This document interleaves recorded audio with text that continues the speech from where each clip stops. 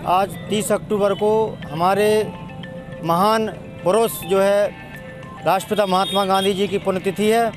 उसको हमन जो है कार्यालय पे भी हमने उनके बारे में मौन धारण किया और विचार व्यक्त किए उनके बारे में। उन्होंने आज जो देश के लिए आज हम जो आज़ादी की सांस ले रहे हैं केवल उन्हीं की बदौलत बदौलत ले रहे हैं। और हम लोगों ने घंटाघर पे अ, महात्मा राष्ट्रपिता महात्मा गांधी जी के चित पर जो है माल्यार्पण करना चाहे तो यहाँ पर जो है पुलिस ने हमको घेर लिया।